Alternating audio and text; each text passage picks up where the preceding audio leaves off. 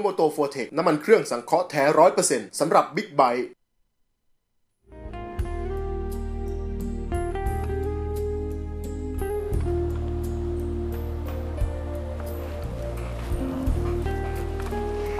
สวัสดีครับ ขอต้อนรับคุณผู้ชมเข้าสู่รายการ Speed Rider นะครับพบกับพวกเราทุกวันนะครับตั้งแต่วันจันทร์ถึงวันศุกร์นะครับตั้งแต่เวลา 18นาฬิกา30นาทีถึง 20นาฬิกา40นาทีนะครับทาง Speed Channel True Vision 691 นะครับครับ อะมาก่อนอื่นเลยต้องขอบคุณ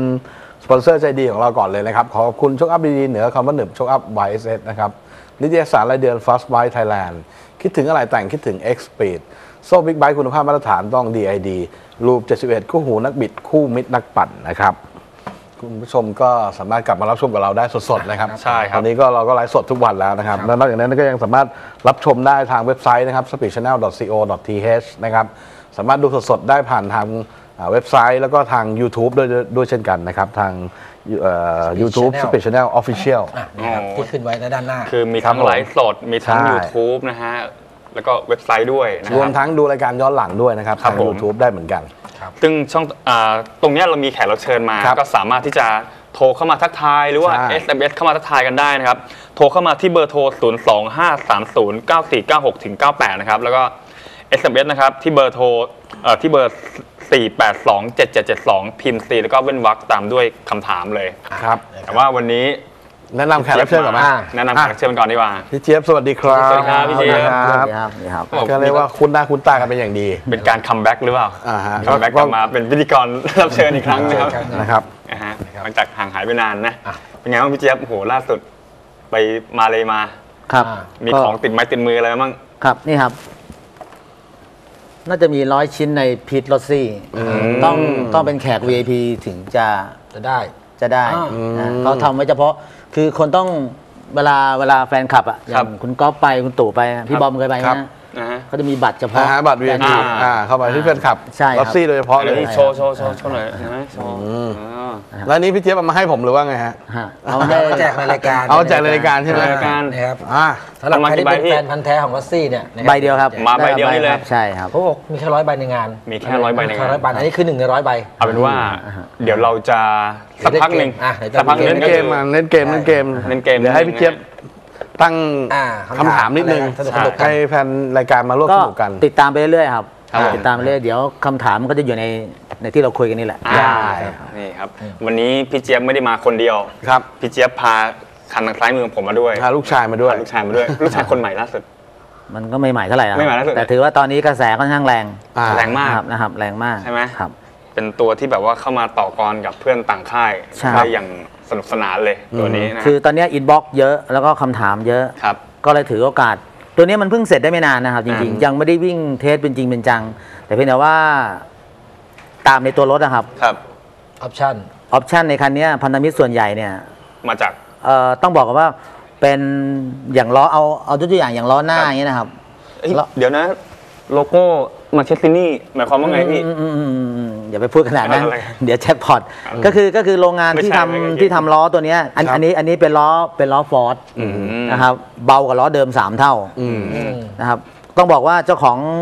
เจ้าของล้อเนี่ยคือโรงงานที่ผลิตให้กับ ล้อรถแข่งระดับโลกอ๋อครับ นะครับล้อนี้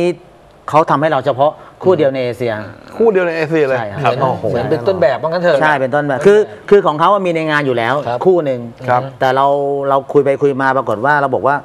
เฮ้ยลายที่เขาทำไว้เราไม่ชอบอ่า ก็คุยเล่นๆอะถ้าเกิดเราอยากได้ลายเราก็มีก็จะแบบมันมีล้อแข่งตัว R1 อยู่อืมเราบอกเนี่ยถ้าเราอยากได้ลายอย่างเงี้ยขทำเอาลายเดียวกับอาวันตัวแข่งเลย อ่าอะไรอย่างเงี้ยที่เขาทำอะไรเงี้ยเขาบอก ก็ไม่ใช่ปัญหานะ แล้วคุณจะอยู่กี่วันเราบอกเราอยู่อีก3วัน ครับ อีก3วันคือผมพักที่ไทเปครับ เขาแล้ก็วไงต่อ เขาก็วิ่งมาให้เลยนะอืมสามวันสามวันเสร็จอะพร้อมกับล้อสี อืม เออซึ่งซึ่ง Anodized ซึ่งเราเราสีรู้สึกว่าทองเออเราเราค่อนข้างแฮปปี้มากเพราะเนื่องจากว่าเพื่อนของผมที่ไต้หวันเนี่ยเขาเขาเป็นทีมแข่งหัวแถวของที่นู่นครับแล้วเหมือนกับว่าเขาอ่าเหมือนเป็นทีมทดสอบให้กับ แบรนด์ดัง ๆ ในในโลกนี้นะฮะนะฮะอืมอิตาลีอย่างอ่ายกตัวอย่างเช่นโปลินี่ครัมาบโรซี่อะไรต่างๆทำไต้หวันหมดอืมครับเราเอามาโชว์อย่างนี้ถ้าคนอยากได้ทำไงอะพี่ ก็สั่งได้ครับคู่ละสามหมื่นห้าอ๋อ สั่งเท่าไหร่นะสามหมื่นห้าสามหมื่นห้าครับแล้วสั่งที่พี่เจี๊ยบได้เลยใช่ครับพี่เจี๊ยบได้เลยใช่โอเคนะราคานี้นะ คือเป็นอะไรที่ขึ้นขึ้นรูปมาอย่างสวยงามนะใช่แล้วก็ครับงานอโนไดเนียนไร้รอยต่อที่สำคัญเป็นเป็นฟอสด้วยน้ำหนักเบาด้วย อันนี้ใช่ไหมการันตีว่าถ้าเปรียบเทียบกับ บางค่ายราคาอาจจะอาจจะถูกกว่าด้วยซ้ำไปครับ แต่อันนี้คืออันนี้อันนี้ผมยืนยันด้วยตัวตนผมเองว่า โรงงานที่ผลิตล้อเนี่ยไม่ใช่โรงงานโนเนมอะอืมครับคือโรงงานที่ผลิตล้อให้แบรนด์ดัง ๆ ในโลกดีกว่าแต่ผมขอไม่เอ่ยชื่อ เอางี้ดีกว่าเป็นโรงงานเดียวกับล้อดังๆอะอ่าเออใช่เอาเป็นที่รู้กันแล้วกันใช่ว่าใช่โรงงานเดียวกันเลยใช่ครับใช่นะงานคุณภาพจะเป็นยังไงก็ไปดูของจริงได้ที่ไหนพี่ที่ร้านแล้วครับพระรามที่สี่อ่าที่ร้านพี่เจี๊ยบอะนะใช่ครับใช่แต่ตอนนี้ในในในเว็บก็มีคนแชร์ไปเยอะแล้วล่ะครับเพราะว่า คนค่อนข้างสนใจ เพราะแค่รถเดิมๆเนี่ยใส่เข้าไปเนี่ยหล่อแล้วอะ มันก็หล่อด้วยครับ แล้วก็อัตราเร่งขึ้นมาเร็วด้วยแล้วใช่เพราะล้อมันน้ำหนักเบาใช่มีผลต่อเรื่องการขับขี่ด้วย ใช่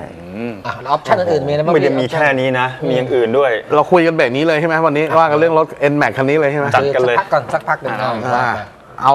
หลักๆก่อนมีอะไรอีกพี่ทำอะไรก็แต่งเพิ่มเติมมาอีกอันนี้ไอ้จุดอื่นก็ยังไม่เท่าไหร่ครับ เอาแค่ไฮไลท์ไฮไลท์ก่อนไฮไลท์ก่อน คุณตู่ดู GPS ครับ อ๋อนี่ครับอ่าเห็นอยู่เห็นอ่า อยู่ด้านในนะฮะ อ่าคือคุ้นๆนะ ฮะ คุ้นๆที่จะเหมือนกับว่าเป็นตัวที่ใช้ในรถแข่งระดับโลก อ่าฮะมันก็เป็นตัว Data Lock ใช่ ตัวนี้น่าจะเป็นชุดเดียวในเอเชีย อืมตัวขออนี้ นุญาตบิดให้ท่านผู้ชมดูได้ไหมอ่าได้ได้ หันขยับขยับรถได้ไหมไม่เป็นไรพี่เดี๋ยวเดี๋ยวผมจัดการเองพี่อ่า ไม่เป็นไรพี่เจี๊ยบอะนะครับให้ตู่จัดการอ้าวหันรถนิดนึง อ่าหันรถนิดนึงเดี๋ยวแป๊บนึงครับ กดท้ายหมุนหน่อยอ่า ปึ๊บอ่านะครับเห็นยังเห็นยังก็เห็นยังได้ไหมนี่อะนะครับ เห็นพอคร่าวคร่าวๆนะๆอ่าค่าประมาณนี้อ่า อ่าอ่าเห็นแล้วนะอ่าอ่านี่ครับพอดีมันอยู่ด้านในพอดีตัวนี้อืมอ่าในในบ้านของคนทุกคนเคยได้อาจจะได้ยินชื่อ Master Camp VR46 ครับที่บ้านรถซี่อะครับ อ่าที่นักแข่งของเราไปไปฝึกที่นู่นนะครับอืมอ่าตัวนี้เป็นอุปกรณ์ที่รถซี่ใช้ติดตั้งกับรถที่ใช้เทรนนิ่งนักแข่งอืมนะครับมันจะบอกรายละเอียดทุกอย่างของนักแข่ง ครับ รายละเอียดบางอย่าง ผมขอปิดไว้นิดนึงเนื่องจากว่ามันเป็นความลับของในส่วนของรถแข่งเขาด้วยครับ แต่เพียงแต่ว่ามันจะบอกรายละเอียดทุกอย่างของ คือในยุคปัจจุบันนี้นักแข่งขี่เสร็จลงมาเนี่ย เราแทบไม่ต้องถามนักแข่งเลยว่า เสียบดูอะไรข้อมูลได้เลย ใช่มัจะครับ ลิงก์กับใช่ครับ ดาวเทียม ก็เรื่องพูดง่ายๆอันนี้นอกเหนือจาก GPS ธรรมดา ก็คือยังมีเขาเรียกเป็น Data ใช่ใช่ไหมใช่ครับใช่สำหรับการขับขี่บอกทุกอิริยาบถของนักแข่งอืมครับก็เป็นอีกหนึ่งอุปกรณ์ที่ที่บอกว่าใช้ในการฝึกฝนนักแข่งใช่คบระดับโลก ใช่ครับเป็นตัวจับใช่พินเลยใช่ไหมว่า ใช่ใช่ใช่ วันนี้คุณใช้คันเร่งกี่เปอร์เซ็นต์ใช่ครับเอียงกี่ใช่ องศามีนู่นอ่านี่นั่นมีข้อมูลอยู่ใช่ในนี้หมด บอกค่อนข้างเยอะ แล้วก็ ความเร็วต่างๆ รอบเครื่องยนต์ต่างๆอะไรต่างๆ บอกค่อนข้างแม่นมาก อืม แล้วสามารถใช้ร่วมกับ Data Logger ของกล่อง ECU ได้ด้วยอืมก็แสดงว่าใส่ได้ทุกรุ่นสิกันอะ ทุกรุ่นทุกรุ่น ทุกรุ่นคือตัวนี้จริง ๆ แบรนด์เนี้ยก็คือ ผมไม่ได้ปิดก็คือเป็นแบรนด์ของ AIM อ่าครับ ถ้าเราไป search เนี่ย AIM คือแบรนด์ที่ทำวัดรอบเกจ์ให้กับ Formula 1อืมนะครับเพราะฉะนั้นสินค้าตัวนี้จะไม่มีวางขายตามร้านทั่วไป ครับ ต้องเป็นร้านที่ทำเกี่ยวกับรถแข่งโดยเฉพาะ อืมอันนี้แหล่งกำเนิดอยู่ที่อิตาลีอืมเป็นแบตเตอรี่เลยใช่ครับ แล้วพี่ไปได้มาได้ไงพอดีเนี่ยเราโชคดีเรามีเรามีคอนแทคที่ที่ไต้หวันแล้วไต้หวันเขาก็มีคอนแทคกับทางทีมงานที่ที่ดีลกับทางลอสซี่เราก็เลยถือว่าฟลุกได้มา แต่ฟลุกได้มาก็สั่ง 4 เดือนนะครับกว่าจะได้ ราคาสูงไหมพี่ราคาก็ 3 0,000กว่าบาท ถือว่าไม่แพง ไม่แพงนะ แต่มันมีออปชั่นเสริมนะครับครับ ออปชั่นเสริมนี่เราเราหมดตังค์แล้วก่อนเราไม่ได้ซื้อมาอะไรครับพี่ ออปชั่นมันอีกประมาณเกือบเกือบสองแสน อ๋อครับ มันออปชั่นเสริมมันแพงเลยแพงกว่าตัวกล่องออปชั่นเนี่ยแสมันดงก็ว่าคืมันอต้องอะไรละเอียดเลยใช่ไหมก็สามารถรู้ได้ว่าพี่บอมขี่แล้วโชคหน้ายุบเท่าไหร่อ๋อมีเซ็นเซอร์ชกอัพโชคหน้าพี่บอมยุบเท่าไหร่โชคหลังพี่บอมพี่บอมน้ำหนักขนาดนี้โชคอ่าฮะมันยุบบาลานซ์กับตัวพี่ไหมมันบอกขนาดนั้นโอ้โหเบรกเบรกหน้าใช้ไปกี่เปอร์เซ็นต์อ่าฮะแล้วก็ความร้อนของผ้าเบรกต่างๆต่าง ๆ มันสามารถบอกได้อืมว่าผ้าเบรกตัวเนี้ยมันเหมาะสมไหมกับ กับระยะทางอ่าขนาดความนี้ร้อนอย่างนั้นใช้ full option ละ ใช่โอ้โหนี่ซึ่งสุดยอดเลย ซึ่งถ้าเปรียบเทียบสมัยก่อนผมว่ามันเป็นล้านอะ ครับ นะฮะมันค่อนข้างแล้วแล้วเวลาวิ่งเวลาอะไรต่างๆ ถ้าในสนามแข่งพี่บอมไม่ต้องดูป้าย ครับ พี่บอมสามารถรู้เวลาของพี่บอมเองอ่าในก็จอดูที่ตัวนี้ได้เลยที่จอใช่อืมใช่ไม่ต้องมาเรืองมองที่ pit เวลาผ่านแล้วนะ อ่าใช่ใช่อืมพี่บอมเคยเห็นแล้วก็โกดูป้ายคาร์ดมีป้ายเวลาไหมครับอืม โกคาร์ดก็ใช้แบบนี้นะครับ อ๋อเดี๋ยวนี้ก็ใช้อย่างนี้กันหมดแล้ว ใช่ครับใช่เพราะฉะนั้นโกคาร์ดเวลามันขับไปมันจะดูเวลารถยนต์ก็เหมือนกันรถยนต์ก็ไม่มีป้ายเวลารถยนต์ก็ดูเวลาที่ตัวเองที่จอนี้อ่าอ่าอ่าเพราะฉะนั้นตัวนี้มันจะอยู่ในพวกรถแข่งทั้งหมดครับอมันผลิตมาเพื่อรถแข่งโดยเฉพาะอืม แต่คนที่จะใช้ก็ต้องก็ต้องบอกว่าก็ก็ต้องก็ต้องศึกษาต้องศึกษามันพสมควร ข้อมูลการใช้งานเหมือนกันใช่ว่าใช้แบบไหน ใช่ที่ฟังพี่เจี๊ยบพูดเมื่อกี้แบบผมคุ้นๆกับที่มันอยู่ในรถระดับ MotoGPใช่ใช่พวก Moto2 Moto3พวกนี้คืออม คือมันใช้เป็น Data Logger หมดแล้วแล้วกล่องสมัยใหม่เนี่ย มันค่อนข้างที่จะให้รายละเอียดได้ค่อนข้างเยอะครับ เอ่อมีลูกค้าหลายคนถามผมว่า ถ้าใส่กล่องแพงๆแล้วได้อะไร อืม ถ้าใส่กล่องถูกๆแล้วได้อะไร ผมบอกเลยว่ากล่องถ้ากล่องแพงเนี่ยมันสามารถ save เครื่องยนต์ให้คุณได้ ครับ เพราะมันจะมีระบบเขาเรียก auto tune อือฮึ นะฮะแต่ถ้ากล่องธรรมดาธรรมดาเนี่ย เราจูนแค่ไหนก็ช่าง อยู่แค่นั้นพี่ต้องถือโน้ตบุ๊กทั้งวันอะอืม เอาเอาง่ายๆเอาแค่รถแข่งแล้วกันครับ รถแข่งบ้านเราพี่ดูไหมฮะไม่ต้องระดับโลกมันก็ต้องถือโน้ตบุ๊กทั้งวันเหมือนกันแหละต้องขอแต่โน้ตบุ๊กของเขาเอาไว้เช็คนะ แต่ของบ้านเราเอาไว้จูน อือฮึอ๋ออ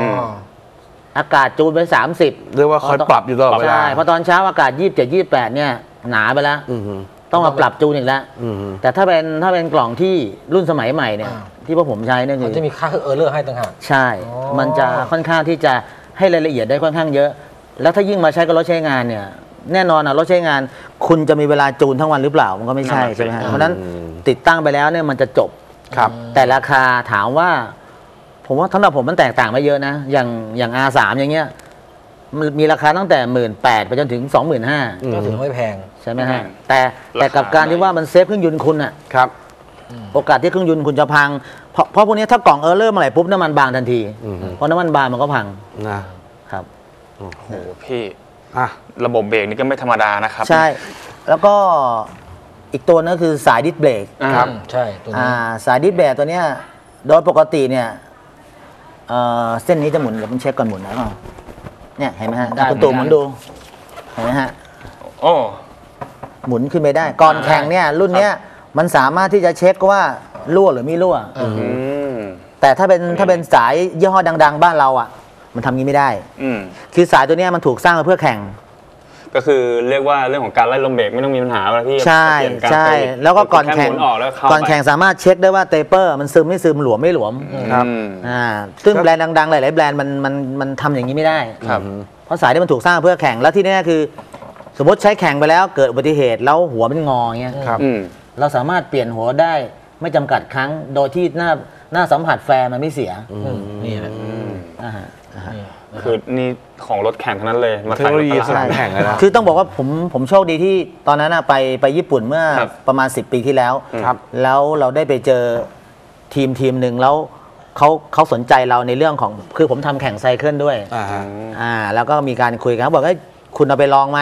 คือบริษัทเนี้ยเป็นบริษัทที่ผลิตให้กับแบรนด์ดัง ๆ หลายแบรนด์อืมแต่ต้นเชื่อไหมครับว่าแบรนด์ระดับโลกทั้งหมดที่อิตาลีอิตาลีอเมริกาอเมริกาเนี่ย แหล่งผลิตจริงๆอยู่ไต้หวันอืมอ๋อมันอยู่ไต้หวัน อันนี้เรื่องจริงนะผม confirm เลยนะ เพราะว่ามีโอกาสได้สัมผัสเหมือนกัน พวกแบรนด์ของแต่งดังๆเนี่ยนะครับเดี๋ยวนี้โรงงานอยู่ไต้หวันเยอะใช่ใช่ๆ แต่ว่าเขาอาจจะไม่ได้เปิดเผยว่า ใช่ครับโรงงานใช่ ผลิตอยู่ที่ไหนยังใช่ไง ใช่ใช่อ่าแต่ขอให้ไต้หวันจริงๆนะครับเพราะทุกวันนี้คนก็คุยว่ามาจากไต้หวันไต้หวันไต้หวัน แต่จริง ๆ แล้วเนี่ยบางทีอาจจะมาจากจีนก็ได้อืม ใช่เพราะฉะนั้นต้องต้องต้องเช็คในในเรื่องของแหล่งข้อมูลให้ถูกต้อง ใช่ อันนี้ทราบมาว่าพวกโรงงานอะไรต่างๆ ในแถบยุโรปญี่ปุ่น หรือว่าประเทศที่แบบใหญ่ๆเนี่ยเขาจะดันอ่าเขาเรียกอะไรดันโรงงานที่ไม่ได้แบบเป็นมิตรต่อสิ่งแวดล้อมอะให้ออกนอกประเทศไปเปิดที่ประเทศอื่น ใช่ มันมีเรื่องของมลพิษเรื่องของอะไรเรื่องของมาตรฐานโรงงานต่างอืมๆรวมทั้งเขาเรียกอะไรนะ ค่าค่าแรง อืมใช่เรื่องอันนี้เรื่องสำคัญนะค่าแรงเขาที่ถูกใช่เขาลดต้นทุนใช่ก็ไปอยู่ในโรงงานพวกนี้ของดีแล้วราคาถูก ถ้าเขาควบคุม QC ต่างๆ ใช้วัสดุเก รดเดียวกับตอนที่เขาผลิตเองในอะค่ายในบริษัทแม่อะ นะเพราะฉะนั้นงานก็ออกมาออกมาเหมือนกันอ่าแต่แค่ลดต้นทุนในเรื่องของการผลิต อ่า ครับเพราะว่าเขาจะได้เอ่อค่าแรงถูกก็ใช่ การผลิตก็ได้ได้ของที่ถูกขึ้นมาใช่อะเนี่เห็ยนว่าในบล็อกนี่มีของดีด้วยนอกจากกล้องคงจับไม่เห็นแล้วฮะใช่จากคอรัอบปชันที่พี่แต่งแล้วเนี่ยแน่นอนว่าเครื่องยนต์พี่ต้องโมดิฟายแน่อืม ใช่ครับ ต้องมีกล่องเนี่ยล่าสุดพี่เจี๊ยบตอนเนี้ยพี่ทำอะไรไปบ้างแล้วดีกว่า อืมตอนนี้ครับ ครับ ครับ step แรกของ auto automatic เนี่ยตัวนี้มันเป็น 155ซีซีใช่ไหมครับครับ ตอนนี้มันเป็นร้อยประมาณ 190ซีซีโอ้โหทะลุไปถึงขนาดนั้นแล้วครับอะร้อยเก้าสิบแล้วเหรอตอนนี้ครับครับ up ซีแสดงว่า up ซีซีแล้วแน่นอัอพนทีซีแล้วเมื่อกี้สตาร์ทแล้วโอ้โหรอบเครื่องแน่นอนครับเหมือนรถแข่งต้องไล่ข้างแน่นอนใช่ทำอะไรบ้างพี่ทำอะไรให้พี่เจี๊ยบบ้างอธิบายหน่อยเลยอันเนี้ยก็คันนี้ก็น่าจะมีไล่ข้างอืมไล่ข้างนะฮะทดเฟืองท้ายเอ่อเอ่อตัวเนี้ยเราเราเราเป็นผู้ ทำเฟืองขึ้นมาอ่าฮะไล่เฟืองอ่านนะครับ แล้วก็คำนวณเองใช่เครื่องยนต์ ตอนนี้เราดีลกับไต้หวัน คือตอนเนี้ยทุกอย่างตอนเนี้ยผมพอผมเราไปเจอตรงนั้นเราเราดีลกับไต้หวันหมดละเพราะว่าเราต้องการความชัวร์เราเราหมดยุคลองผิดลองถูกแล้วครับประมาณเนี้ยแล้วเจชุอดเราเจอจุดของจริงแล้วชุด upsize ของพี่อะเออเป็นเป็นชุด kit หรือว่าพี่มาตอนนี้ modify ตอนนี้ตอนนี้มันยังไม่เป็นมันยังไม่สำเร็จรูปเหมือนทีซิตี้อ่าฮะ นะฮะอ่าทีซิตี้เนี่ยเราเราทำสำเร็จรูปเราเราเรา clear ไต้หวันจบแล้ว อือฮึอืมแล้วเขาเป็นก็ชุดทำขยายความจุว่างั้นเถอะ ใช่ครับชุดใช่ kit ไปเลยพี่ใช่ใช่ แล้วตัวนี้ up แล้วเรียบร้อยใส่ตัวนี้รูปตัวนี้ up แล้ว up แล้ว เป็นลูก 63หกสิบสามใช่ชัดเสื้อสูบเดิมเสื้อสูบสร้างชุดสุดสร้างใหม่ สร้างใหม่คือว่ารอการพัฒนาว่างั้นเถอะ ใช่ ก็คือถ้าอันนี้สำเร็จก็เป็นมันก็จะส่งบล็อกละ มันก็ส่งผลไปในเรื่องของการพัฒนาซีซีเพิ่มซึ่งผมมั่นใจว่ามันได้ถึง 250ซีซี ฮะ โอ้ อย่างนั้นเลยเหรอพี่ แล้วเสื้อตัวรถ สร้างใหม่ด้วยจะเอาไหวเสื้อใหม่ อย่างนี้มันไม่ติดเสาอะพี่คือนะเนี่ย เพราะเสื้อสูงมันข้อจำกัดอยู่ที่อ่าเสาต้องบอกก่อนนะอ่า ว่า NMAX เนี่ย ครับพื้นฐานน่ะ